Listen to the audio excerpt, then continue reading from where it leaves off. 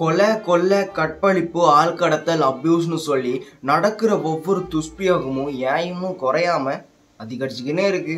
கிட்டத்தட்ட பதினோரு மாசத்துக்கு முன்னாடி ஆயிஷா அப்படின்ற ஒரு குழந்தைக்கு நடந்தது. ஏன்னா அதை தொடர்ந்து யதுஷி அப்படின்ற ஒரு ஸ்கூல் மாணவிக்கு நடந்த மாதிரியே இன்னைக்கு இன்னும் ஒரு ஃபேமிலிக்காக உழைக்க போன ஒரு பொண்ணுக்கும் நடந்திருக்கு. இதுக்கு முக்கியமான ரீசன் பல பேரை பொறுத்த வரைக்கும் ட்ரக் போதைப் பொருள் அப்படின்னு சொல்லுவாங்க. பட் என்னதான் போதைப் பொருளாகவே இருந்தாலும் இப்படி நடக்கிற ஒவ்வொரு உயிரிழப்புக்கும் முக்கியமான ரீசன் நம்ம நாட்டோட சட்டம் நம்ம நாட்டோட லோ கிட்டத்தட்ட ஒரு வருஷத்துக்கு முன்னாடி ஹட்டன் பிரதேசத்தில் பதினெட்டு வயது ஸ்கூல் படிக்கிற ஒரு மாணவியை முப்பத்தி நாலு வயது சேர்ந்த ஒருத்தன் வந்து நீ என்னதான் காதலிக்கணும்? நான் சொல்ற மாதிரி நடந்துக்கலனா அவ்வளோதான் அப்படின்னு சொல்லி மிரட்ட அந்த பதினெட்டு வயது மாணவி அவன் சொல்ற எதையுமே கேட்காம மறுத்ததுக்கு நம்ம வீட்டில் யூஸ் பண்ணுவோம்ல மண்வெட்டி அதை வச்சு நடு ரோட்டுல தலையிலேயே அடிச்சு கொலை பண்ணியிருக்கான். இவ்வளோ தைரியம் வார்த்தைக்கு எது இருக்க போதும் நம்ம நாட்டோட ஓட்டையான சட்டம் தான் குற்றம் செய்யற ஒருத்தன் வந்து தண்டிக்கப்படணும் அப்படின்னு சொல்ல நம்மளோட சட்டம்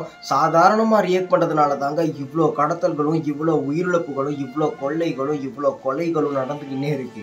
போதைப் பொருள் அப்படின்ற ஒன்றை யூஸ் பண்ணிட்டு தான் இவ்வளோ கேவலமான உயிரிழப்புகளையும் கொலைகளையும் பண்றானுங்க அப்படின்னா இப்படி கொலைகளையும் கொள்ளைகளையும் பண்ண தூண்டுற அந்த போதைப் பொருளை ஒழிக்கிறதுக்காக ஏதாச்சும் ஒரு நடவடிக்கை கூட எடுக்கலாமே. பட் அப்படியும் இல்லை. இல்லைனா ரீசன்ட் டேஸ்ல நடைபெற்ற கொலை சம்பந்தப்பட்ட குற்றவாளிகள் கொலையாளிகளுக்கு மக்கள் பார்வையில தகுந்த தண்டனையை கூட கொடுக்கலாம். பட் அப்படியும் நடக்கல.